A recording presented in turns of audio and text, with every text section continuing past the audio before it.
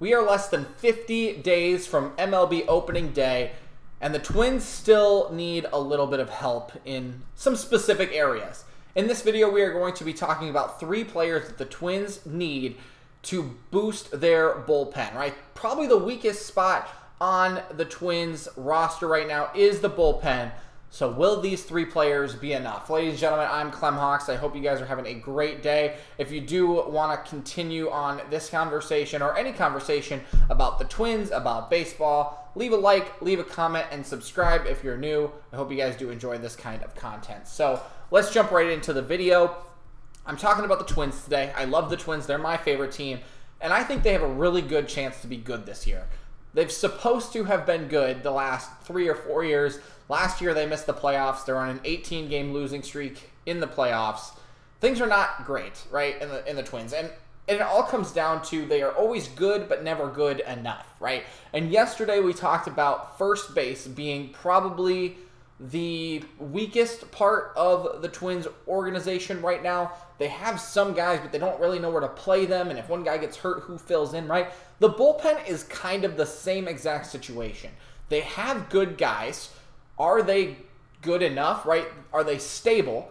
Do they have every piece they need? And in this video, the three guys that I'm going to mention, would they be enough to help out in the bullpen, especially with the Twins? So let's first start by answering the question Are the Twins good enough? I say yes, but they need more consistency, and another pitcher wouldn't hurt, right? I think that's always the case. That is the case with everybody in the MLB right now. The Phillies, right? They made the World Series. They ran out of pitching. They had to use their relievers in like four of the five or six games because they did not have enough, right? The Twins get in the same groove every single year. Their their bullpen is okay. A couple guys shine, a couple guys are not great, and they always just kind of falter towards the end, right? They have guys like Duran, who is going to be your all-star shutdown closer, flamethrower guy, right? He is the future, I think, in that reliever closer role. Great. You've got your foundation. You've also got guys like Griffin Jax, like Lopez, guys who they've gone out and traded for, specifically Lopez, who was their closer in Baltimore. Like, they have good guys. They are right handed, which is interesting. Then you've got guys like Megill. You've got guys like Emilio Pagan. Who are they going to be, right? Are they going to show up or are they not, right? And then you've got your lefties, Moran and uh, Thielbar. That's pretty much it. And that is why we beg the question today is the bullpen strong enough? Like I said, I think it is, but you need more, right? Or maybe it's not you need more, but it's always good to have more, especially in the Twins case where they don't have another lefty. I've made so many videos this year about the Twins or any other team for that matter needing another lefty in the bullpen. So these three names you've probably heard before. But we are going to be talking about Matt Moore, Andrew Chafin, and Brad Hand today. All lefty relievers. They are all a little bit older, veteran guys. Are any of them good enough for the Twins?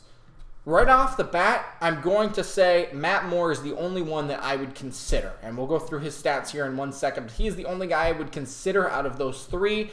And we'll get to them as we get to the players, get to the reasons. But I'll just ask the question right now is it enough where they are at in their current ro- roster? Like, do you trust Thielbar, right? Or do you need one of these guys? And is it enough, right? These are the free agent market 50 days out from opening day is not super deep anymore, right? We're talking about the same guys. Are these guys the answer, or will they have to go trade for a lefty reliever? That's kind of the answer. And to that, is anybody going to want to trade a lefty reliever for less value, right? The Twins, I don't think, could give a ton up. They have a lot of potential. They could give up Kepler. They could give up Royce Lewis. They have good guys that they could give up, but do other teams want to give up lefties? That's the question. So answer that all down in the comments if you would like. Let's talk about Matt Moore, though. Like I said, I think this guy is the guy who the Twins should target most of any these three that we've talked about. Matt Moore had a really, really good 2022. He had 2.4 WAR, which means you know two and a half times better, two and a half more wins than a player of about that statue uh, where he could fill in and get two and a half more wins. That's good. That pretty much would have. I mean, the Twins in a normal year, right when the Twins are actually competitive in the division, that's that makes a difference. Five and two on the year means he can win games. Not that winning is the best pitching stat, but he can win games as a reliever.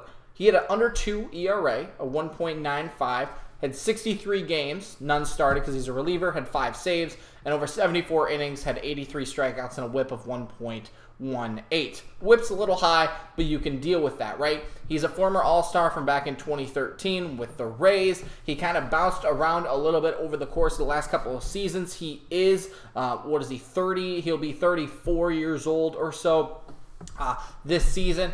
He's getting older, right? And I don't think that's necessarily a bad thing, but what's the contract looking like, right? Like, how long are you going to end up with this guy? Is it a one year deal? Is it a two year deal? You probably can't go much more than that. He's also pretty cheap, right? He's not the same guy he was in 2018, getting $9 million from Texas.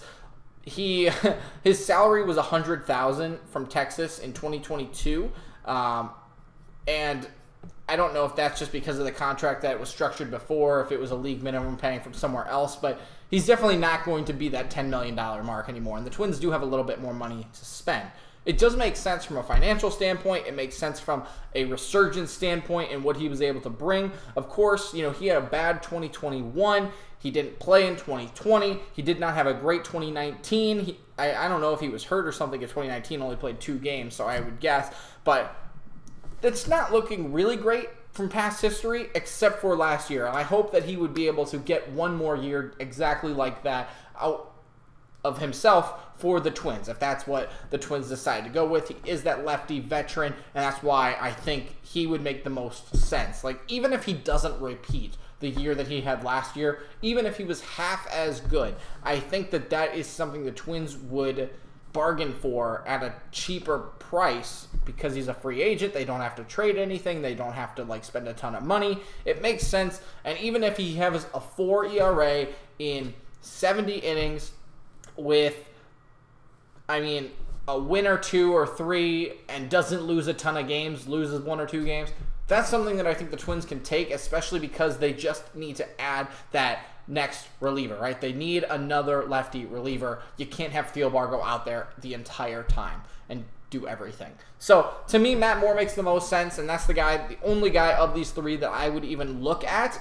Uh, I know there's been a ton of other teams looking into him. I don't know if the Twins have that top spot, but that is a guy who I would like to see on the Twins. It makes a lot of sense, and if he can bounce back like he did last year, he could be a diamond in the rough for the Twins that I mean, a lot of teams are obviously looking at, but if they can steal him, I think that would be huge uh, as they continue to try to chase that AL Central pennant uh, or, or division title um, again, because obviously they didn't get it last year like they should have, and the White Sox being healthy is going to be tough as well. Andrew Chafin is the next guy up. I told you there are I go back and forth on Andrew Chafin, right? I've made videos about, oh yes, this team should get him, right? The Cubs, the, the I don't know who else I've mentioned in, in, several other videos, but they need Andrew Chafin. He's a good guy. He does all these things well, and that's true, right? He is. I just don't see him as a fit for the Twins. Even if Matt Moore gave us this guy, right? If he gave us these stats for Andrew Chafin that had in 2022, I, I don't think it's that bad. But I don't know. Maybe it's just some personal bias from Andrew Chafin about being with the Tigers last year, and I actually had to see him pitch, and I don't think he did well or did you know great. Maybe I just don't want that on the Twins. I don't know. But like we've said before, 0.3 WAR, 2 and 3 record, 2.83 ERA. He had three saves over 64 games, 57 and a third innings, 67 strikeouts, and a WHIP of 1.7. He's basically identical to identical to um, Matt Moore. Here's the kicker: he's more expensive, and maybe that's the case with the Twins, just because I know they are a little bit tighter on money. They still have like I think it's like ten to fifteen million dollars, maybe. Uh, the last time I checked, if my numbers are correct, they still have a ton of room to grow in that area. But do they want to spend six and a half million dollars, which was his contract last year? He's 32 on on Andrew Chafin. I don't think so. I don't think that's the answer. And like I said, even if Matt Moore gave you these stats, I think you would be okay with it because you're not having to spend a ton of money. And I just don't think Andrew Chafin is the needle pusher for the Twins. I feel like he is more of the Thielbar, the Moran kind of player in the Twins organization than he would be as a standout better left-handed reliever in other organizations, right? Maybe that's kind of where I draw the line where I think Matt Moore has that that capability to provide a little bit more. His potential is higher than Andrew Chafin. I don't think it's a bad bet. If the Twins went out and got Andrew Chafin, I don't think I'd be upset. I just don't know if he is the guy compared to Matt Moore. Maybe the potential is just not as high. The last guy I want to talk about briefly is Brad Hand. This is kind of a for me. Um, I'll make this pretty quick. He's old. He's 32, just like the other guys. He has not pitched on a team other than the Phillies last year. He played in 55 games since. Okay, well, I'm just kidding. I looked at. Um, I I take that back. I was wrong. He's bounced around. He has not been on a team consistently. Um, he except for 2022 he is just bomb, bomb, bomb, bomb, bomb, right? He's just trying to go somewhere else to get a chance, I think. And his numbers have not been great. Uh, you're looking at a 7 ERA in Toronto in his brief 11 games there. He had a 270 ERA with the Mets in 2021, a 359 with Na- the Nationals. Last year had a 280 uh, ERA with the Phillies in 45 innings, five saves. I just there are too many red flags with with Brad Hand. Um, he is from Minneapolis. I don't know if that means anything whatsoever. I just don't see him doing anything. Right? He is older. He's had injury problems. His WHIP is higher. His strikeout numbers and innings pitched are lower than the other guys. I just don't see the Twins giving this guy a chance. And again, if this guy, if the Twins went out and said, I got Brad Hand, I'd be like, he's another lefty. Like, they got him. But is he a needle pusher? Absolutely not. And I would much rather have the other two guys than Brad Hand. I just don't see Brad Hand pitching at a major league level again. I don't know. Maybe that again is just the bias of, of what he did in Cleveland and, and from just looking at his stats the last couple of years, I think he's just taken a hard nosedive in the wrong direction. And he is not the same guy he was when he was an all star, even back in 19 and 20, right? So the last two years, he has just kind of whoosh and played with so many different teams. It just doesn't look like he can settle down and pitch on a roster. And with the numbers and the injuries, it just doesn't make sense. So ladies and gentlemen, I hope that makes uh, some sense to you guys. I hope that the Twins can go out and get another lefty reliever. And again, if it's not one of these three, they're going to have to go trade somebody. That might be tomorrow's video. We'll see what we can do there. But let me know if one of these three guys makes sense, what you would do, and we'll see you next time. Bye.